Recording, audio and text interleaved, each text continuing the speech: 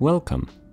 Today we're gonna build a $420 gaming PC with only new parts. Let's begin with the motherboard. This is an H410MH from ASRock. We got it from a local shop for about $65 and I'm aware that it's an extremely budget motherboard, but we are on a really tight budget, so it will just have to do for now. Besides, we'll be installing an i3-10100F CPU here, so having a more expensive motherboard won't really do too much, if anything at all. We bought this CPU on eBay for $50. We'll be cooling it with this Deepcool AG200 CPU cooler that we got for $10. In terms of thermal paste, you guys can use anything you like really. Nowadays, a lot of CPU coolers even come with their own thermal paste, which are more than fine for this kind of build. But I personally like GD900, so that's what we're gonna be using today. For the case, I went for this WJ Coolman DT M2, and I know that I use the same cases quite often, but it's honestly a really good case. For just 30 US dollars, we get tempered glass, filters everywhere, detachable hard drive tray, PSU shroud, and of course the side panel that opens like a door. You guys won't believe just how big of a selling point this side panel is. People here just seem to really like that feature in particular. We'll be installing 5 of these EasyCloud rainbow LED fans in our case. 3 of them will be set to intake, 1 will be an exhaust, and the last one will be installed under the GPU. We paid $20 for these fans in total. In terms of storage, I wanted to go for an M.2 NVMe SSD, but the prices here were just too high, so I went for this 480GB SATA SSD from Team Group instead. It's honestly one of the most reliable budget SATA SSDs that I have ever used. We bought it for $28.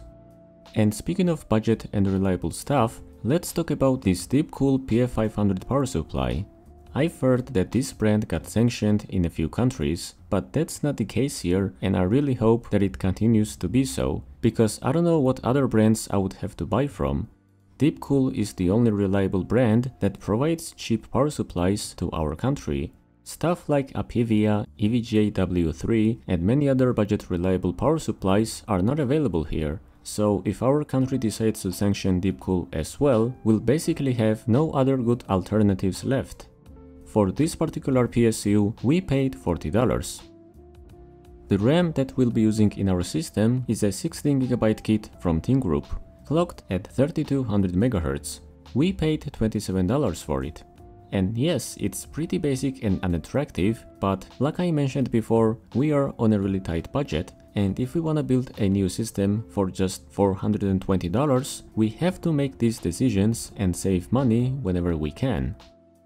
And finally, the star of the show, RTX 3050. This whole build actually started with this GPU. Long story short, this one guy bought an RTX 3050, thinking that it would be better than his GTX 1080, which it wasn't by the way. RTX 3050 is quite a bit weaker than a GTX 1080, and this is an 8GB version that we're talking about. The 6GB one is even worse. So after seeing these results, the guy decided to sell his 3050 right away, literally a day after he bought it.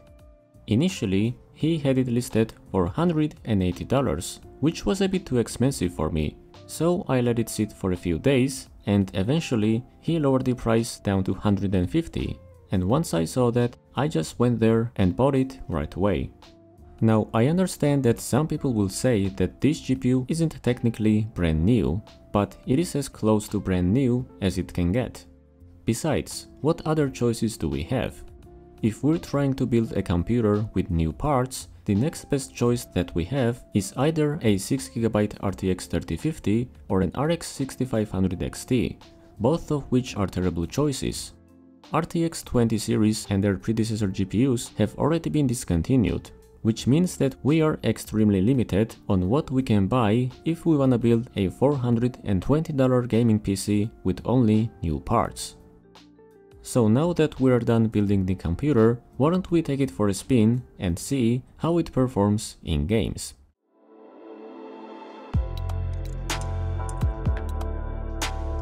Let's begin with CS2. We are running this game on the highest settings at 1080p resolution. Normally, I like testing this game on lower settings, but today I decided to max everything out and see how this PC would perform, and as expected, it had no issues achieving 100 plus FPS. On average, we got around 118 FPS in this 10 minute deathmatch. Forza Horizon 5. Here I went with the high preset and turned ray tracing off. After a few runs of this built-in benchmark, we averaged around 95 FPS. Doom Eternal. On the highest settings at 1080p resolution, the computer had no issues achieving 100 plus FPS. After fighting with the monsters for about 5 or so minutes, we averaged a solid 145 FPS. Red Dead Redemption 2 Here I chose the number 5 preset at 1080p resolution. At first, I thought the FPS would go below 60 in the crowded areas, but surprisingly, it stayed above 70 at all times. At the end, we averaged a solid 80 FPS. Hogwarts Legacy, a new addition to our benchmarks. I've actually been playing this game non-stop the past few days, and I thought it would be a good idea to test it on our new system. After messing with the graphics for a short while, I decided to set them to medium, because higher settings were giving us less than 60 FPS and lower settings were not too visually pleasing. After running around for a few minutes, we averaged 62 FPS. Sons of the Forest Another modern game that ran pretty well on this computer. On medium settings at 1080p resolution, we achieved 66 FPS on average. I was honestly expecting a few stutters here and there, but surprisingly, the game ran without a single stutter whatsoever. Cyberpunk will be our last game for today's benchmarks. Here I just kept the settings to medium, since this game can be quite taxing on the hardware, especially in heavily crowded areas. After driving around for about 10 or so minutes, we averaged a solid 65 FPS. Until this point, I thought that it was a coincidence that this PC was showing less stutters than the RTX 2060 PC that we built a few weeks ago. But after running multiple tests and playing these games for a few hours, all I can say is that RTX 3050 had a lot more stable frame time than RTX 2060. Overall, I think we built a really good budget gaming PC. Shame that RTX 3050s are so expensive nowadays, hence why so many people consider it a bad GPU. Personally, I don't think there's such thing as a bad product, there is only a bad price.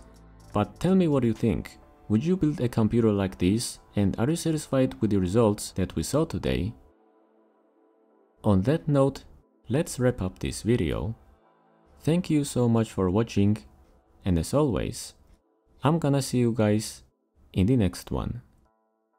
Bye bye.